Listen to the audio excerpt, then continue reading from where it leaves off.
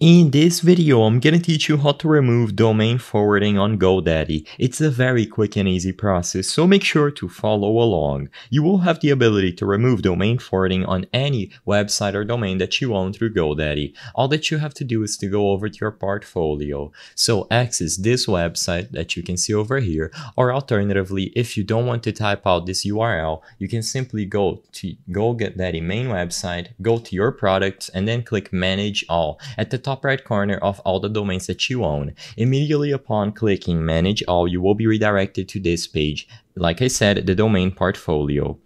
Immediately upon being redirected to the domain portfolio, you will find a list of all your domains and in order to remove domain forwarding, all that you have to do is tick the box at the left side of every domain that you own and you want to remove. So as you can see, there is going to be a little box at the left or every single domain, tick that box and once you have all the domains where you want to remove domain forwarding on GoDaddy selected, choose the remove forwarding option at the bottom of the screen, close to the continue or cancel option. Immediately upon selecting remove forwarding, it is going to get applied for all the domains that you selected. If you forgot any domain or if you want to make alterations later, you can just repeat these same steps through your domain portfolio and they will all be adjusted accordingly. The process is very simple and you can repeat this as many times as you wish just make sure that you are properly signed in and that you select the corresponding domain that you want to remove forwarding on.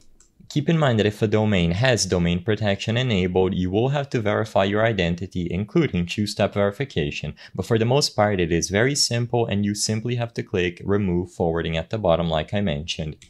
I hope I was able to help you on how to remove domain forwarding on GoDaddy. If this video helped you, please be sure to leave a like and subscribe for more quick and easy tips. Thank you for watching.